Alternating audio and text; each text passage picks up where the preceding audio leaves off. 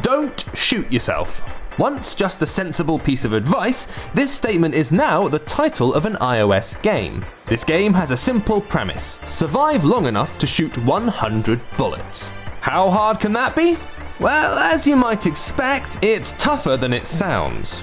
You take control of a small arrow which finds itself trapped in a number of oddly shaped prisons. Normally, this solitude might be good for activities like introspection and self discovery, but the arrow has a problem. It is continuously spitting out bullets. These bullets ricochet off the walls of the prison and can easily wind up bouncing back into the arrow. If you can dodge your way around the environment long enough to fire the 100 bullets, though, you'll spit out a super bullet, which will shatter your jail, freeing you to repeat the whole ordeal over again in brand new surroundings. The control system gives you half the screen to use your thumb to direct the arrow to safety. Movement is responsive, and you'll often find that taking things slow and steady is the key to survival.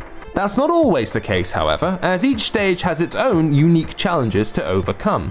One might have you zooming through timed doors to keep one step ahead of your bullets, while another might feature circular zones which give your bullets homing properties. In order to access the boss levels or the new tiers, you have to achieve a perfect run on most levels.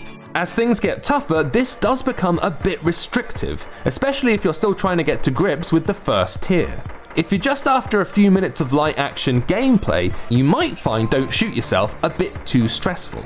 However, if you enjoy testing your reactions to their limits and don't mind the odd restart, then this self destructive blaster may suit you down to the ground. This has been James with AppSpy.com. We review, you decide.